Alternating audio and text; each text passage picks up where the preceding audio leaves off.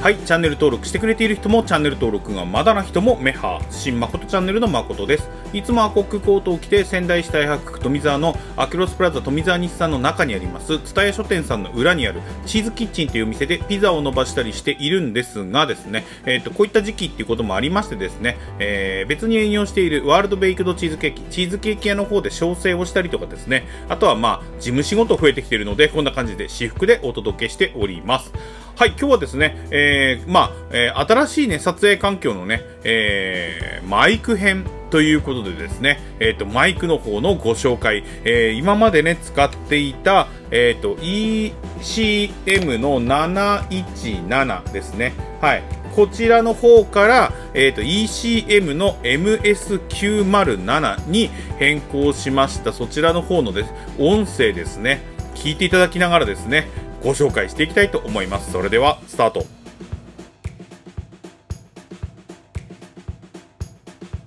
はい。えっ、ー、とですね、あの、他、前のね、多分動画になると思うんですけれども、えっ、ー、と、撮影環境変わりましてですね、えっ、ー、と、レンズの方が、えっ、と、α7C に対して付けているのが、えっ、と、APS 仕様のレンズになりまして、えっ、と、16mm の F1.4D、えっ、と、シグマのですね、え 16mm F1.4 の、えっ、と、DCDN という風なね、レンズに切り替わりましたということでね、結構ね、広角でね、え結構というか、かなりね、広角で撮れてね、えそれでいてね、私とね、レンズの距離がですね、40センチぐらい、30センチとか40センチぐらいで、えー、取れるようになっているということもありまして、で、タムロンの前に使っていたレンズじゃなくなったっていうのもありましてですね、ようやくね、ショットガンマイクを使えるようになりました。まあ、ショットガンマイク使えないかった理由っていうのはですね、えー、タムロンさんのレンズの、か、あの、フォーカス音が結構カチャカチャカチャカチャとね、えー、という音がね、してしまうっていうのがあったので、えー、それがね、今回ね、こちらの方のね、シグマさんのレンズに変えることによってですね、かなりね、あの、軽減された、えー、ゼロではないんですけれども、気にならないレベルになってきているっていうのもありましてですね、えー、やはりね、今度ここにね、えー、と、今まで、こういった形で、とてもね、音はいいんですけれども、ここに、こうつけているっていうことがね、やっぱりちょっとね、自分でね、撮っててもね、ちょっと違和感があると言ったらいいのか、あの、音はすごくいいんですけれども、えー、できればね、あの、完全に離れた状態でやりたいと、撮りたいというふうに思っていたっていうのもありましてですね、こんな感じの、えー、撮影、こんな感じの撮影する形になりました。はい。ね、その中でですね、今まさに撮っている音声ですね、こちらの方が、まあ、えっ、ー、と、iMovie でも音の、あの、えっ、ー、と、エフェクトみたいなものっていうのはかけないようにして、えっ、ー、と、ちょっと自動で持ち上げて、だいたい2倍ぐらい、200%ぐらいの音量に持っていく形の撮り方。で、今、撮影の方をしていると思います。多分、そんな感じの処理をしていると思うんですけども、なんで、元々のマイクの音っていうのをですね、今までのあの ECM の、えーと、717と同じような形で使っている感じのその音量の調整ぐらいしかやっていないっていう風な形の音なんですけれども、えー、どうでしょうかね？音の出方どうでしょうか？はい。あの、ちなみにね、あの、ショットガンマイクで言うとね、えっ、ー、と、今だとマイクから、えっ、ー、と、そうですね、マイクからだと50センチぐらい、えっ、ー、と、口からマイクが離れている状態になります。なんですけど、どうですかね？音の方ですね。えっ、ー、と、すごい換気扇が回ったり、あと製氷機が動いたり、あとエアコンがついているっていう状況で、まあ、このような形の、まあ、雑音ですね。えー、私は空気感、前にもね、あの、この、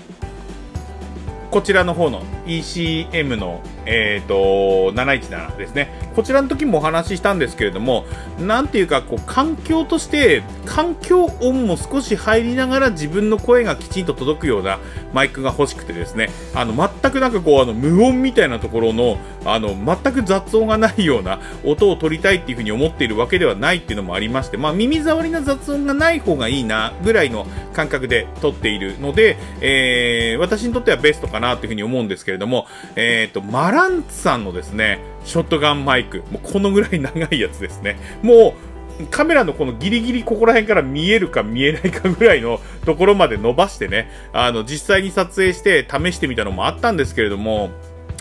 なんかね、なんかちょっと違うんですよね。あの、その音の取れ方っていうのが違うっていう風に感じる。まあ、これ人それぞれのね、感覚だと思うんですけれども、私はやっぱりソニーさんの、えー、ステレオマイクの音が私の好みに合っているっていうこともあってですね、こちらもステレオマイクですね。えっ、ー、と、LR あるので、こちらの方もステレオマイクなんですけれども、えっ、ー、と、同じくね、今使っている、えっ、ー、と、907の方もステレオマイクになってますので、えっ、と、このステレオ感って言ったらいいのか、ステレオ感って言うとちょっと違うんですけれども、その、ソニーさんのステレオマイクの音作りが一番私は好きな音になっているというふうに思うので、なので、まあ、こちらの方のショットガンマイクの方を、えー、使っている形になります。えっ、ー、と、音声の方は前よりも、まあ、完成形に近づいたかなというか、あの、いわゆるその運用方法も含めての完成形に近づいたかななんていうふうに思っているんですけれども、まあ、聞いていただいている皆様どうでしょうかというふうな形で、えー、まあ、マイクからね、結構ね、50センチも離れてるとね、どんな感じになるのかなっていうところではあるんですけれども、まあ、ショットガンマイク、やはりここだけの音をできる限りこう取ってくれるっていう風なね、えっ、ー、と、ものとして使っていっている感じとしてはいい感じなんじゃないかなという風に思ってます。はい。えー、ということでね、え、ー、と、マイクの方のご紹介。ね、他にもね、いろいろとね、えー、機材の方を変えていく形になったんですけれども、まあなんでこのね、マイクがね、この、まあ50センチ、それでもやっぱマイクだとしたら近いんですけれども、この近さのマイマイクをね、この近さで使えるようになったっていうのは非常に私の中では大きなことでですね、えー、取り付け方法を変えてね、もうちょっとね、手前側に持ってくることもできたりとかするのかななんて思いながらね、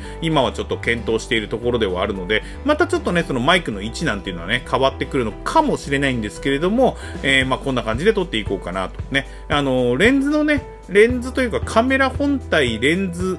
と、あの自分の距離っていうものが近づけられるようになったからこそショットガンマイクが生きると言ったらいいのかね、えー、っていう風な感じなんじゃないかなと思います。実際にね、ちょっとね、試しになりますけど、このまま、えっ、ー、と、よいしょと。マイクをですね、お、ちょっと揺れますね。よいしょ。ね、マイクを外して、実際にカメラにかからない状態まで持っててきて、あ、今、今、今見えましたね。今見えましたね。これですね。はい。これがマイクになりますね。はい。これをね、まあまあ、見えない位置でって言うんだったら、この辺、この辺、どうですかね。ちょっと持ってるんであれですけど、この辺だとね、もうね、15センチぐらいまで近づいてますね。15センチ。ちょ、ちょ、ちょ、ちょ、この、これだと向きが良くないですね。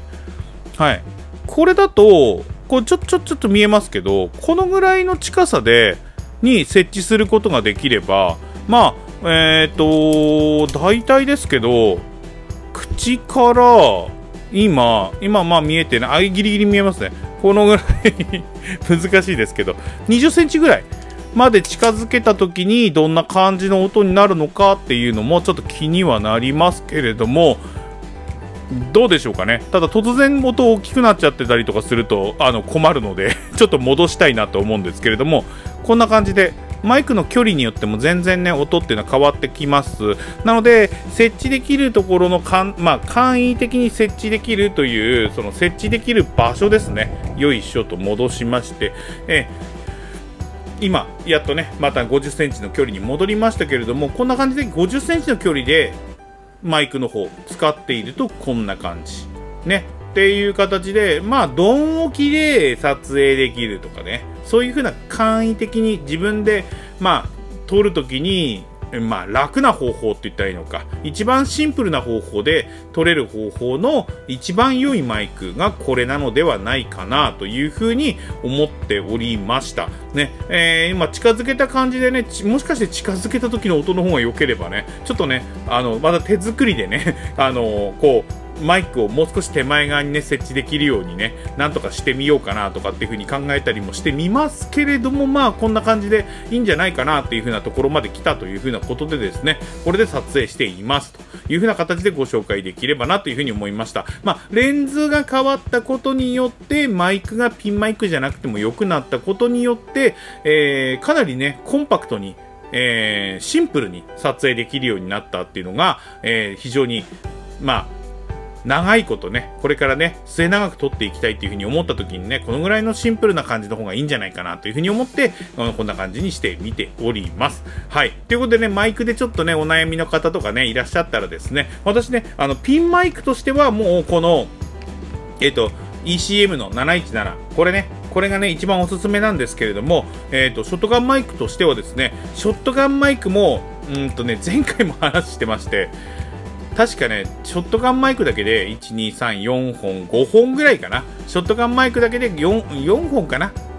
これあこれも入れると5本ですね。5本試してみたんですけれども、メーカーによっても全然音作りが違っていて、いわゆるなんかドンシャリ系みたいな、あの、いわゆるイヤホンみたいな感じで、やっぱりね、音作りっていうのは全然違ってくるので、えー、なので何個か使ってみないとわかんないっていうところもあるかと思うんですけれども、まあ実際に聞いていただいてこんな感じで、周りに結構、まあ普通の環境音としての雑音があって、えー、そこで撮影している音がこんな感じっていうのがですね、分かっていただければ、あと距離を近づけるとどうなるのかとかっていうのもね、今回のあの動画を見ていただいてですね、もしよければですね、ただ生産終了品なんで、まあ、えっ、ー、と、メルカリさんとかですね、あとは中古屋さんとか探してみていただいて、えー、見つけていただく形になるとは思うんですけれども、電池1本でこんな感じで駆動する、え